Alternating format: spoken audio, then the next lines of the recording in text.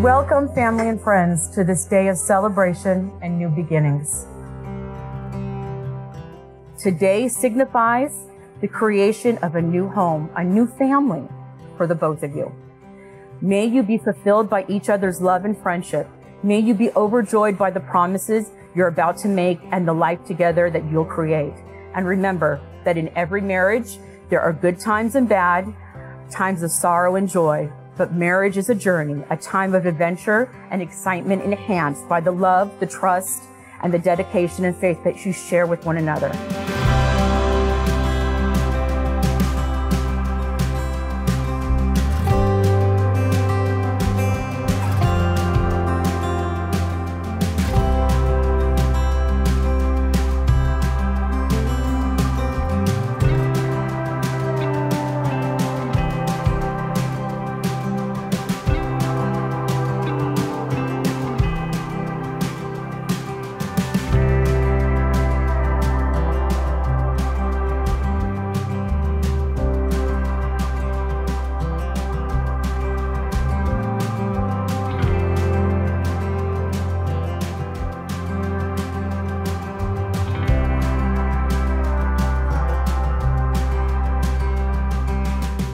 Both of you are blessed with God's greatest of all gifts, and that's the gift of abiding love and devotion between a man and a woman. While your commitment begins with the two of you, it effect radiates outward. It touches your family, it touches your friends, and ultimately all who feel your love each other. When this commitment is seriously made and continuously fulfilled, it leads to the richest and the most rewarding of human relationships.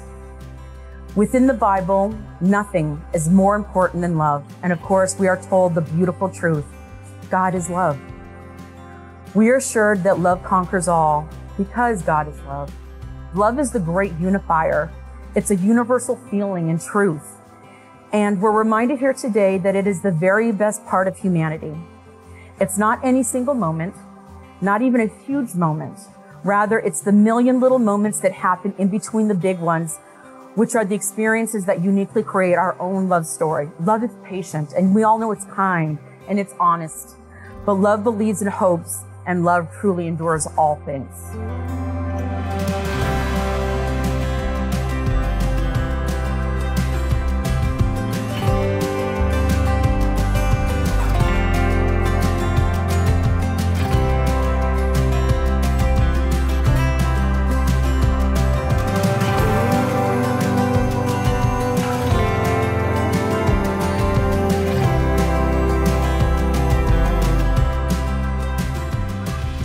Right, number 10. I don't think it's a surprise to anyone, but John has a bit of narcolepsy, so um, it's great that he'll have you by his side to elbow him and, and keep him awake.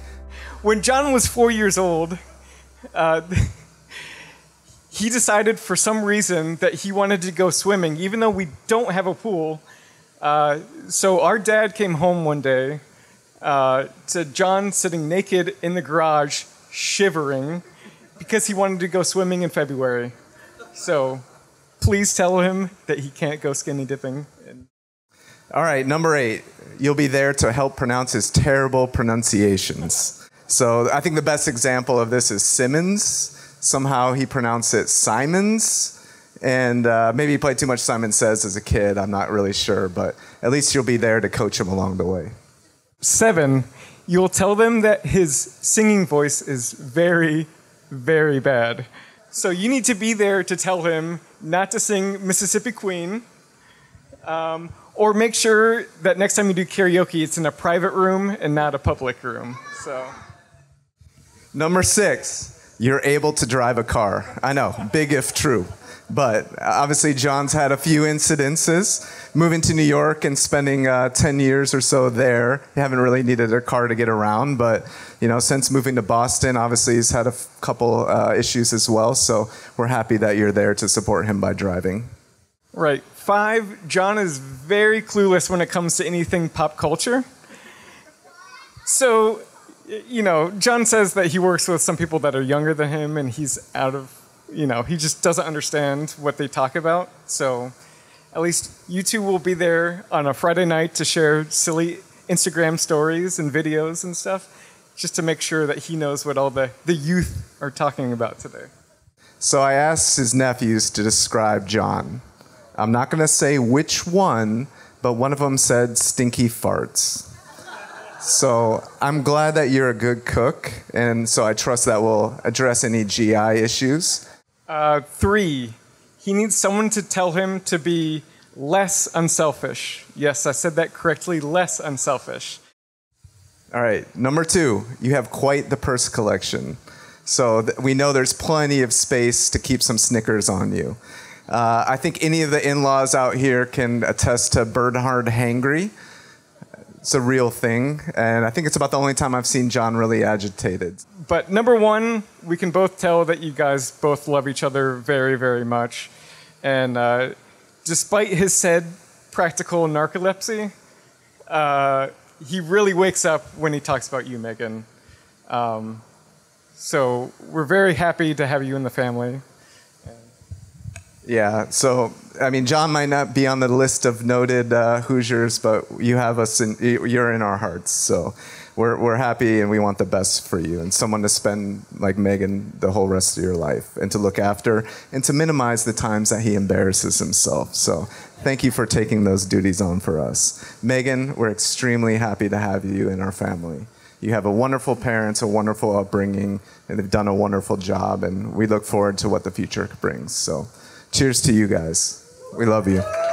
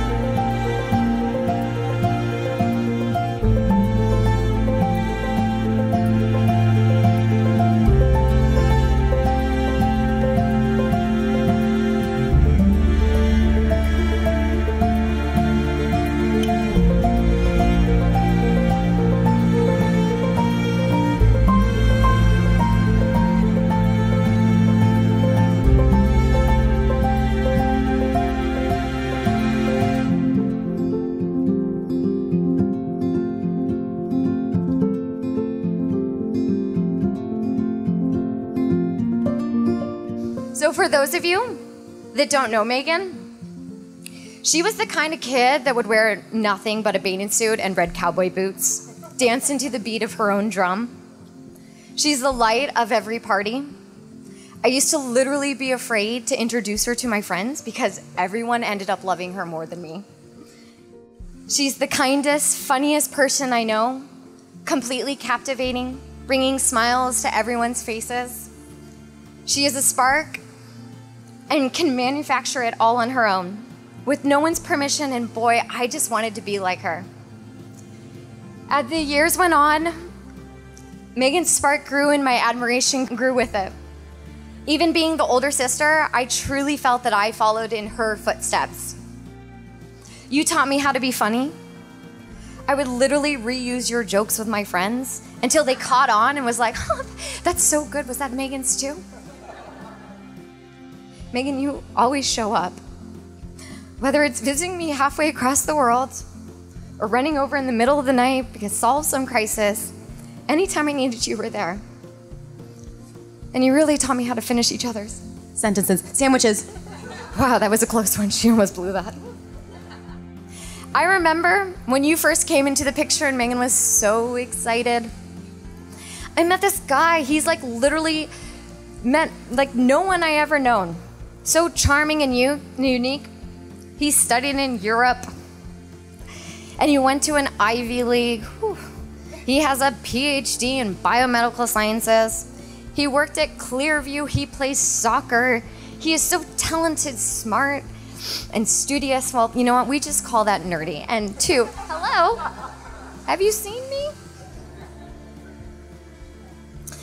I've taken complete satisfaction that my sister has searched the world for a soulmate and literally ended up with a guy version of me. It's true. For those of you who don't know, those are all my qualifications too. So it was really amusing when she was laming. I was like, oh yeah, you've never heard of those things. So, who is Jonathan Carl Bernhard? Just kidding, Bob and Deb. I know his real name is Christian. Throughout 2020, the world was being ravaged by a global pandemic, but the Lopez Boston household was faced with a contagious virus of its own the love of John Bernhard. It was inescapable, contagious, it didn't discriminate. It started small. He would mediate an argument or two, make us some tea, humor us while we binge watched true crime series. But it grew in earnestness and magnitude quickly.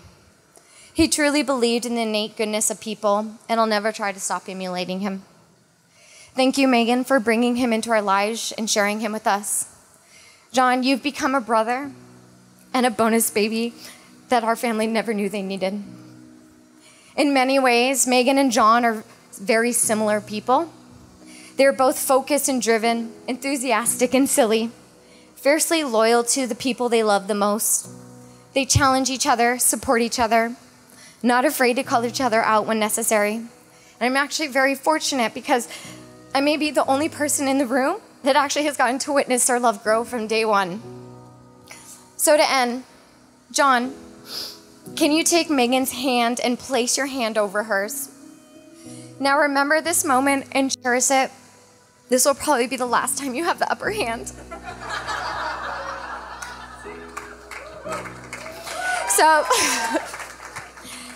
I'd like to have everyone raise your glasses. Here's to the bride, a sweetheart, a bottle, and a friend. The first beautiful, the second full, and the last everlasting. And here's to the groom, a man who kept his head even when he lost his heart. I love you guys. Cheers.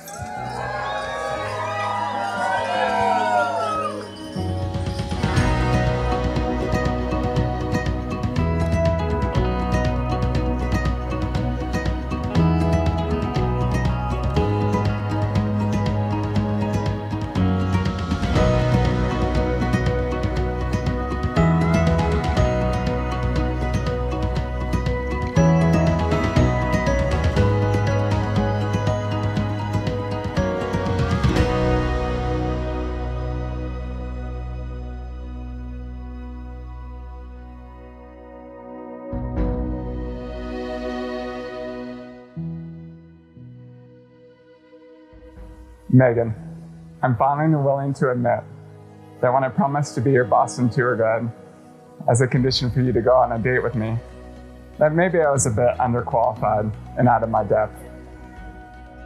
But wow, I am thankful. But from date number one, I know it was apparent how special you were and how my life would never be the same. Your infectious spirit, good humor, quick wit, and obviously gorgeous smile drew me in from the get go but it's your kind heartedness, patience, interest in others, seeing the best in everyone, and overall selflessness that has completely made me head over heels for you. But I promise before God and our family and friends to have and to hold this wonderful blessing that is our relationship. For better and for worse, to use every experience to strengthen our bond and better serve you as a husband. For richer and poorer, to balance our budgets, to ensure as many charcuterie boards and foreign travel as possible, and for sickness and health, to continue to use my PhD training to ensure your COVID tests are always accurate. to love and cherish until death do us part, to build this love from the ground up. I love you more than words can describe. I'm excited to join the Lopez family I'm excited to make you a member of the Bernhards. I'm truly blessed that from this day forward, you are mine and I am yours. Jonathan Christian Bernhard. I thank my lucky stars I ended up in Boston. I recall seeing you for the first time, standing there against that brick wall in South End, waiting to shake up my whole life. You charm me with your humor, your intelligence, and your generous soul. You're the partner I've always longed for, and today is nothing short of my wildest dreams. Your light is blinding, your laughter is contagious, and your love is so fulfilling. You've brought so much happiness into my life. I don't know what I did to be so blessed to have you. I'm so honored that you've entrusted me with your heart, and I will work hard to protect it. I promise to continue the small things, including Bossa Nova Sundays, outdoor dinners on the patio, Arsenal highlights when we are avoiding work. I promise to sprinkle episodes of The Wire between my Stranger Things and true crime binges. I promise to keep you safe. And this is for the Bernhards. I will always look over you when you fall asleep in unfamiliar places. Unless we both fall asleep, then we're out of luck, and Yeah. hopefully my sister's around. I promise to minimize stress in your life. Therefore, I'll always happily drive, especially in new cities. I promise to wait uh-huh. till Thanksgiving to put up Christmas decorations. Wow. While these promises may change over time, there are some things I can say with complete certainty. I vow to cherish and support you during our highest highs and our lowest lows. I vow to listen to you when you don't feel heard. I vow to never stop dreaming with you. I'll always be adding and checking things off our list. I vow to never stop working to be the best version of myself for you and our future family. I vow to put you first and give you all of me. Till the day I die, I vow to love you. I'm always in your corner. I loved you yesterday. I love you still. Always have and always will. This is the beginning of our legacy. I look forward to growing old with you and building our lives from the ground up.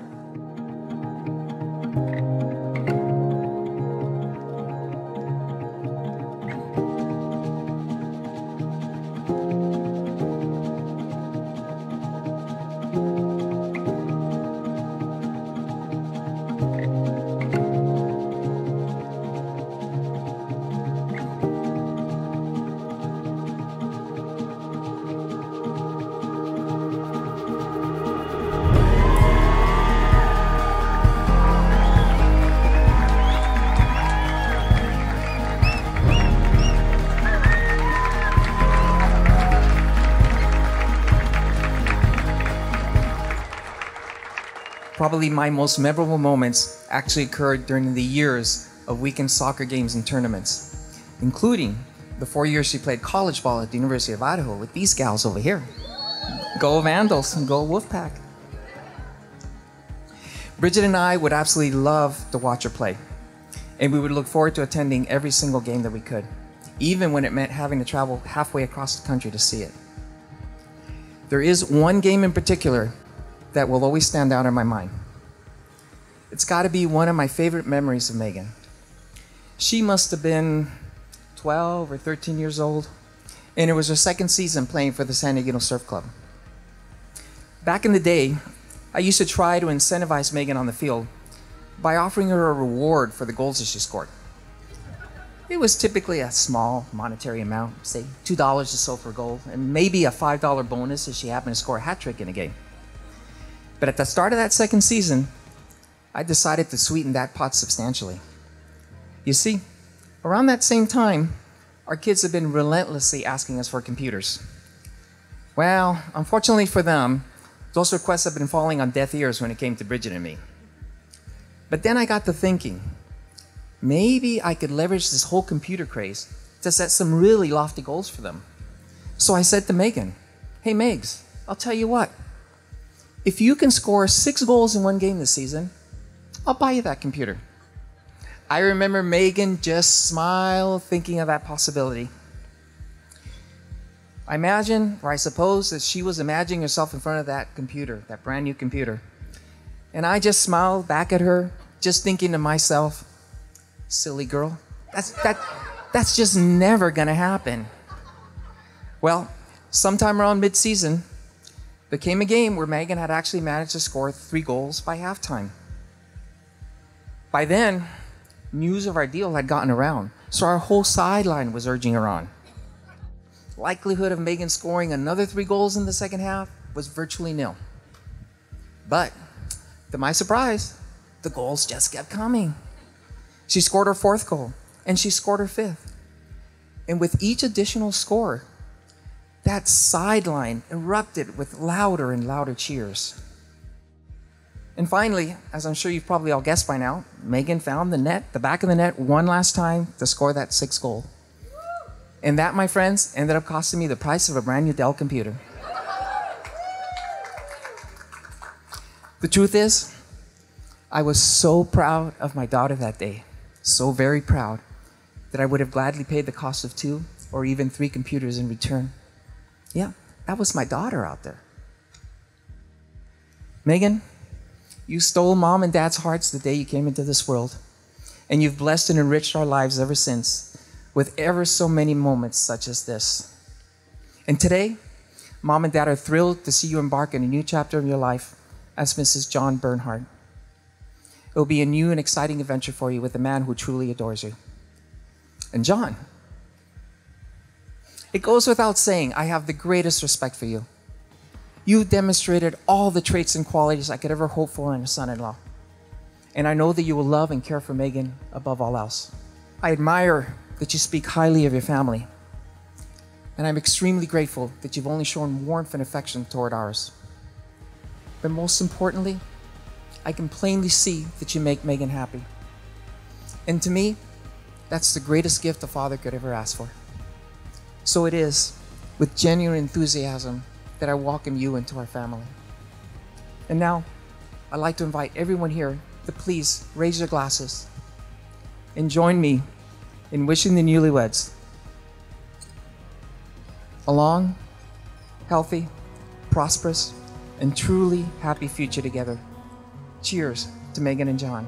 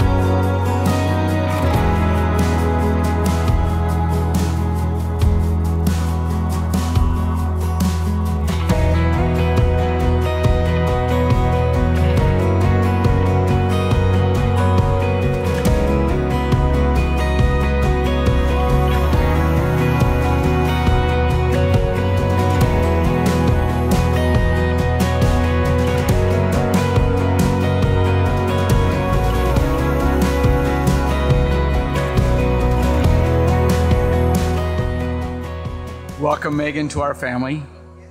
Thank you, John, for bringing Megan to the family.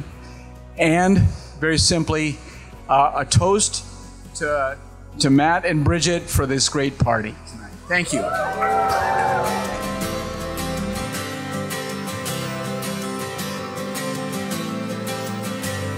With everything I've ever done, I give it all to everyone for one more day. Another night I'm waking through another door I walk into. I can't break. And it's a winding road. And it's a long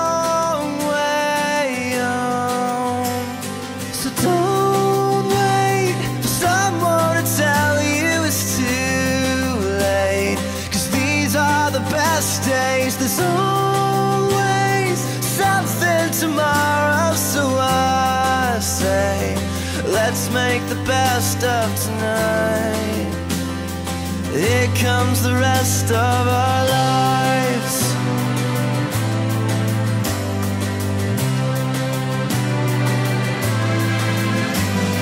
I count the steps, the distance to the time when it was me and you so far gone.